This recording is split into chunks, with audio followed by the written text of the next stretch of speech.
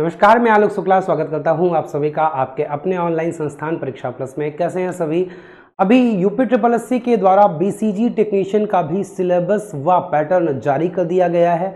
इससे पूर्व में लगातार कॉन्जिक्यूटिव दो दिन में 9 सितंबर 10 सितंबर और आज 11 सितंबर लगातार तीनों दिन अब यूपी ट्रिपल एस केवल एक काम कर रहे हैं कि भैया सबका सिलेबस बता दो। चलो कम से कम देर आए, दुरुस्त आए, लेकिन ये बहुत देर कर दिए हो बच्चे। ऑलरेडी कुछ ऐसे विज्ञापन भी हैं जो पीटी 2022 से हैं और अब आप जाके उनका क्या दे रहे हो? अब आप उनका सिलेबस पैटर्न दे रहे हो, बच्चा कहाँ जाएगा? बच्चा तो फिर यही बोलता है, ठीक है सर, हम तो चुपचाप बैठे हैं। और अब हम लोग 2027 में बताएँगे कि इंतज़ार करने का फल क्या होता है। और ऐसे जब इंपेशेंट हो जाते हैं, जब धैर्य होता है, तब कैसे डिसीज़न लिया जाता है, ये तो बच्चा ही बताएगा। खैर, चलिए, देखते हैं इसका क्या है आज का जो आपका बीसीजी टेक्नीशियन का आया है। अगर आप यूपी ट्रिपल एस वेबसाइट पे जाओगे, आप क्लिक करोगे तो यहाँ पे पहली लिंक ग्यारह नौ दो की है। क्लिक करने के बाद आपका खुल के आ जाएगा, ये मैं पहले ही खोल के रखा हूँ तो आपको बता दे रहा हूँ कि यहाँ पे आपका आया क्या है। तो 11 सितंबर 2024 को आप यहाँ पे देखेंगे, ये डेट है और इस बार जो 255 पद आपके किसके? निदेशालय की तरफ़ से, है ना? कौन से निदेशालय? चिकित्सा एवं स्वास्थ्य सेवा निदेशालय। 255 पद आपके आए थे। इसके सापेक्ष में आपका क्या दे दिया गया है? सिलेबस और पैटर्न दे दिया गया है। देखते हैं, इसमें भी पैंसठ तीस का रेशियो है कि नहीं है। बाकी सारी चीज़ें हम लोग बाद में देखेंगे। सबसे पहले इसे देख लेते हैं। तो फिर मैंने बोला ना आपको कि अब ये काम ही इस पर कर रहे हैं कि पैंसठ तीस के रेशियो पे ये काम करेंगे। और पैंसठ तीस के रेशियो पे मतलब अगर आप उत्तर प्रदेश देखोगे तो उत्तर प्रदेश बीस प्रश्न बीस नंबर का है। और कंप्यूटर एवं सूचना प्रौद्योगिकी पंद्रह क्वेश्चन पंद्रह नंबर का है मतलब पैंतीस आपका यहाँ पे हो गया। और ऐसे ही अगर हम लोग बात करें किसकी, ऐसे हम लोग बात करते हैं बाकी पार्ट की तो इन्होंने क्या किया है? भाग एक को आठ पार्टों में डिवाइड किया है और इसका जो आपका है भाग एक यह आपका पैंसठ है तो पैंसठ और पैंतीस के रेशियो में सौ प्रश्न, सौ मिनट सौ प्रश्न, सौ अंक, एक मिनट और वन फोर्थ क्या है? निगेटिव है। एक बार इसे हम लोग ध्यान से देखेंगे क्या क्या पूछा गया है। तो पैंसठ में जो इसने क्या पूछा है पैंसठ क्वेश्चन में बात किया जाए तो आपका जो सिलेबस है वो आपके आ, बोल सकते हो कि ग्रेड से संबंधित है या आपके ट्रेड से संबंधित है आप ऐसे बोल सकते हो कि क्षय रोग टीबी और बैसिलस कैलमेटेड जो ग्यूरिन होता है, ये तो वही बात हो गया, उसको ओपन करके लिख दिया बीसीजी लिख दिया। का परिचय? बीसीजी क्या होता है? रोग के बारे में है। उसके बाद प्रश्न दो है पल्मनरी और एक्स्ट्रा पल्मनरी दोनों प्रकार के क्षय रोग का निदान कैसे किया जाता है? दस नंबर का। टीबी के बारे में सामुदायिक धारणा क्या है? इससे आपसे क्वेश्चन पूछेगा। टीबी का इलाज आपका 10 क्वेश्चन का है, ये पूछेगा 10 नंबर का। और क्षय रोग के सात सहवर्ती बीमारियाँ, पाँच क्वेश्चन, पाँच नंबर का। महत्वपूर्ण दिशा निर्देश, जो सरकार की दिशा निर्देश योजनाएँ हैं, इनके बारे में 10 क्वेश्चन है। सार्वजनिक स्वास्थ्य जो गतिविधियाँ हैं, ये 10 है। और राष्ट्रीय क्षय रोग उन्मूलन कार्यक्रम एनटीईपी द्वारा निगरानी, पाँच क्वेश्चन, पाँच नंबर का पूछा जाएगा। तो देखा जाए तो सिलेबस बहुत बड़ा नहीं लग रहा है, लेकिन यहाँ पर एक समस्या आती है, मैं आपको बता दूँ। बच्चों, जो समस्या आपको झेलनी पड़ेगी। पैंसठ क्वेश्चन केवल एक टॉपिक से घुमा घुमा के पूछा है, वो है बीसीजी अब कोई क्षय रोग हो गया क्षय रोग के बारे में ज़्यादा से ज़्यादा जानकारी पढ़ लेगा क्षय रोग के इतिहास के बारे में पढ़ लेगा क्षय रोग के जो सिम्टम होते हैं, क्योंकि ये बीसीजी टेक्नीशियन है तो क्षय रोग वही टीबी होता है, और ये किसके कारण होता है, ये बेसिलिक कैलमेटिक ग्वेरिन जो तीन अलग अलग साइंटिस्ट थे, इनके नाम पे पढ़ा है। तो भाई, इसमें बहुत ज़्यादा डेप्थ में पढ़ने को कुछ है ही नहीं, कोई क्या पीएचडी कर लेगा इस पर कितना पीएचडी कर लेगा? अब रही बात तो प्रश्न कहाँ से ज़्यादा बनेगा? तो भाई क्षय रोग हो गया टीबी हो गया, टीबी के लिए वैक्सीन कौन सी होगी उस वैक्सीन के बारे में, उस वैक्सीन के इतिहास के बारे में, टीबी के इतिहास के बारे में, भारत में कब कब टीबी का कैसा कैसा प्रकोप रहा है, उसका कैसा कैसा निदान रहा है, ये थोड़ा बहुत पढ़ लेगा। इसके बाद वो क्या पढ़ेगा? आपने इतना सिलेबस को घुमा चुमा के बना दिया, भाई टीबी का इलाज यहीं पे आ जाएगा पहले में ही। पल्मरी और एक्स्ट्रा पल्मरी दोनों प्रकार के जो छह रोग होते हैं, ये भी टीबी के रोग में ही आ जाएगा। तो ये तो मेरे ख्याल से एक एक पैराग्राफ दो दो पैराग्राफ या एक एक पेज का क्या हो, एक पेज बच्चा पढ़ लेगा, उसका हो जाएगा।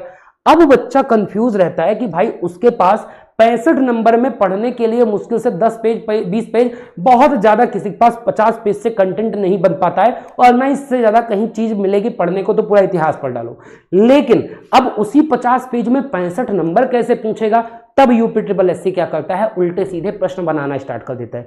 तो जो भी जो पैटर्न बना रहे हैं, जो सिलेबस बना रहे हैं, उनसे अनुरोध मेरा यह है कि आप लोग थोड़ा सा जो पैंसठ केवल एक टॉपिक बना देते हो, यही दिक्कत हुई थी मुख्य सेविका में, यही दिक्कत हुई थी मुख्य सेविका में, फिर भी बीस टॉपिक था। एएनएम में फिर भी ज़्यादा टॉपिक था। लेकिन ऐसे बहुत सारे, सबसे ज़्यादा दिक्कत देखने को मिली है बीपीओ वाले बच्चों को। बीपीओ का नया सिलेबस आया पैंसठ नंबर में वो केवल कुछ टॉपिक दे दिए। अब संस्थान तो परेशान, हम इस कंटेंट में दे क्या दें? और बच्चा सेटिस्फाई नहीं, हम पढ़े तो ये हमारा इतना पूरा नहीं है। केवल पचास पेज में पैंसठ नंबर आ कैसे जाएगा? तो भाई, जो पेपर बना रहे हो पैटर्न थोड़ा सा आप इसे ओपन करके दो। इन्होंने सिलेबस में क्या रखा है, इस चीज़ को देख लेते हैं। अब आप सिलेबस के एक पॉइंट को देख लोगे? मतलब भारत और विश्व के संबंध में क्षय रोग के बोझ की महामारी विज्ञान। उसके बाद विश्व टीबी दिवस और इसकी थीम भाई ये कितने?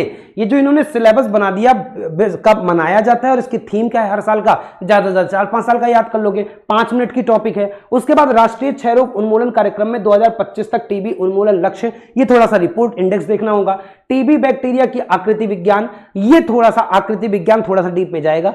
समुदाय में प्रसार का तरीका बीसीजी वैक्सीन संरचना और भंडारण, प्रसारण का तरीका, उस प्रशासन का तरीका और क्षय रोग में इसका उपयोग। फिर आपका पल्मरी और एक्स्ट्रा पल्मरी आपका डिज़ीज़ हो गया, यहाँ से पूछ लिया, ये छोटी सी टॉपिक तीसरे में बोला टीबी के बारे में आम मिथक। जो अवधारणाएँ हैं। भारत में क्षय रोग की रोकथाम और टीबी निवारक चिकित्सा में समुदाय और विभिन्न विभागों की भूमिका। ये भाई इस वाले पॉइंट में ऑलरेडी आपने कवर कर दिया है कि भारत और विश्व में संबंध में क्षय रोग के बोझ की महामारी विज्ञान इसी में ही क्या आ जाएगा, इसी में ये टॉपिक इंक्लूड हो जाएगा। बच्चा यहीं से पढ़ लेगा। टीबी का इलाज ड्रग सेंसिटिव और ड्रग प्रतिरोधी को टीबी में उपयोग की जाने वाली दवाएँ ड्रग प्रतिरोधी टीबी के विभिन्न नियम। यहाँ पे आपको मैं बोलूँगा जो इलाज है और ड्रग्स हैं, इनको थोड़ा, इनके केमिकल नेम ये सब भी आपको थोड़ा सा ज़्यादा अच्छे से पढ़ना पड़ेगा क्योंकि जब टॉपिक आपका छोटा है तो वो डेप्थ में जाके पूछ सकता है। क्षय रोग के साथ सहवर्ती बीमारियाँ ठीक है ये इनके साथ जो बीमारियाँ हो जाती है जैसे एच हो गया डीएम हो गया ठीक है इम्यूनो क्या लिखा हुआ इम्यूनो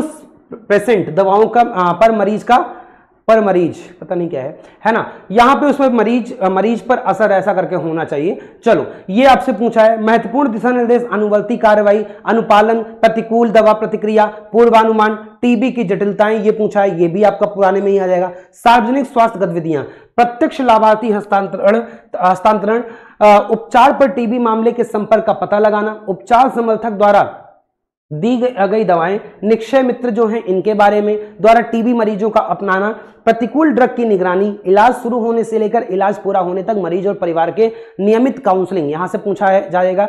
राष्ट्रीय क्षय रोग उन्मूलन कार्यक्रम या आपका एनटीईपी जो है, इसमें द्वारा निगरानी फ़ील्ड बेस्ड और निक्षय सॉफ्टवेयर राष्ट्रीय क्षय रोग उन्मूलन कार्यक्रम संकेतक ये सारी चीज़ें हैं। तो भाई ये आपका सिलेबस कोई आ, मैं बोलूँगा कि पैंसठ नंबर कोई बहुत ज़्यादा नहीं है लेकिन फिर भी टीम आपके लिए पूरा परीक्षा प्लस टीम आपके लिए प्रयास करेगी। एक बेहतर से बेहतर कंटेंट आपको दे दिया जाए नोट्स दे दिया जाए जिससे आप लोग पढ़ लें तो उससे बाहर कुछ ना हो। जहाँ भी जो भी तरीका हो सकता है वो आपको नोट्स दे दिया जाएगा ई बुक दे दिया जाएगा परीक्षा प्लस ऐप से आप प्राप्त कर सकते हो।